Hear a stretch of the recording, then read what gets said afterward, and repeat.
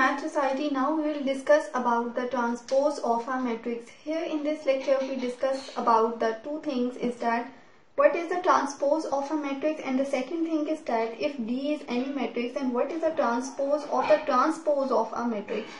So first of all find the answer of our first question to discuss about the transpose of the matrix and in the last of the video we will give the answer about this second question as the answer is very simple that a matrix for example if we take a matrix with order 2 by 2 is obtained by changing rows into columns and columns into rows then the matrix is obtained is called a transpose of this matrix. So as if we apply our transpose to any matrix it means that the interchanging of rows and columns or swapping rows and columns of the given matrix. So first of all understand the transpose of a general order of the matrix which is n by n matrix and then take examples for better understanding.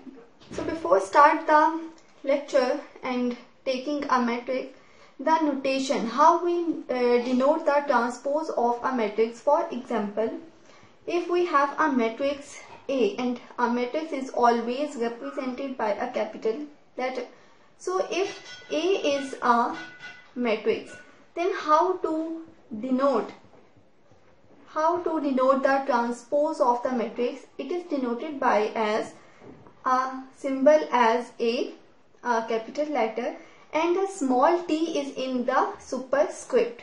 This is called the transpose. Transpose of a matrix A.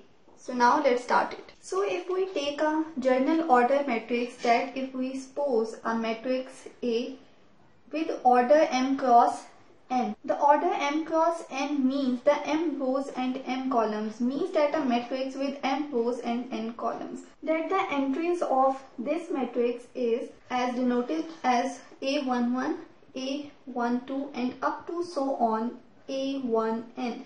It means that A is a member is an entry in which our first row and first column. And this is an entry in the first row and second column. And in this way we can that A1n means that in a matrix that is in the first row and nth column because we take a matrix with n column order. So in this way we can take the general elements a to n. And up to so on we have m rows and this. This entry means that this is a entry where the mth row and first column. And here is just likewise a and 2 up to so on. A m m n. And so this is our matrix of order m cross n. So now we have to find the transpose of this matrix. Transpose of this matrix first of all write it as a small t used in a superscript. So what the transpose says that interchanging of rows and columns.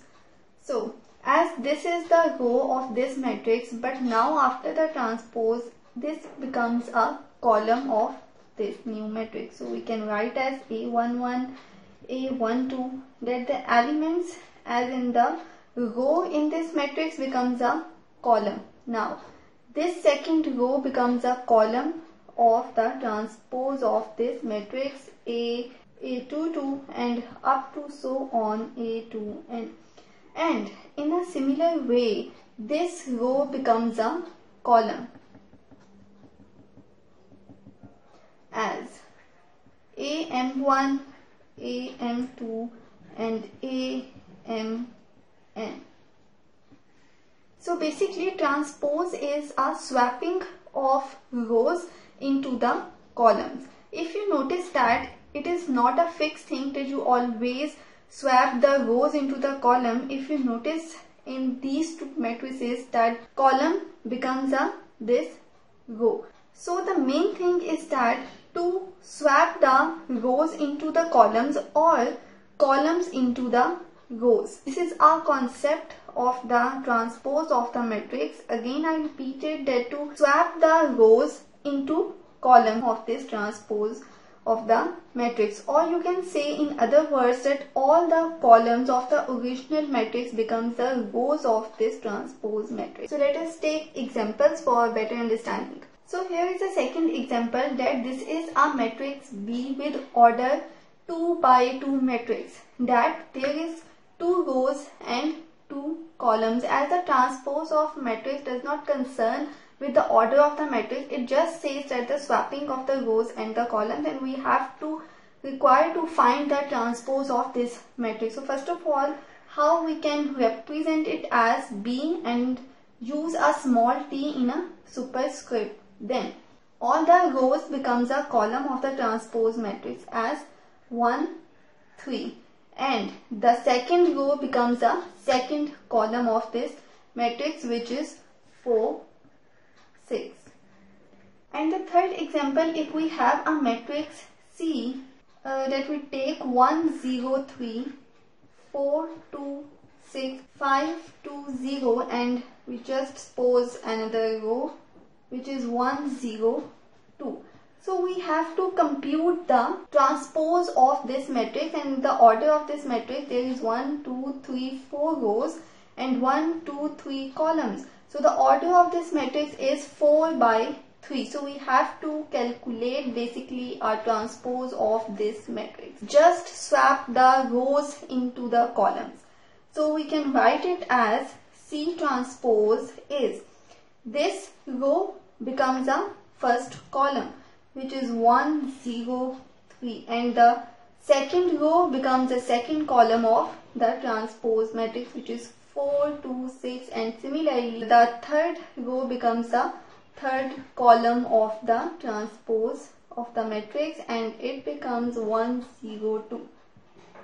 So here is a matrix order of 3 by 4. Just to check out the order, just swapping rows with columns that in this 4 rows and 3 columns and after the transpose it becomes a 3 rows and 4 columns. So now it's time to answer the second question that we discussed in the starting of the lecture. If we have a matrix D and we take a transpose of transpose then it becomes a original matrix. To justify this fact we take just example that if we have a matrix D we uh, just take any simple matrix for this. For example, we take 2 by 2 matrix and we have to calculate the transpose of this matrix. The transpose says just to swapping the rows into columns or columns into rows. So this becomes this transpose. What we need to calculate have to take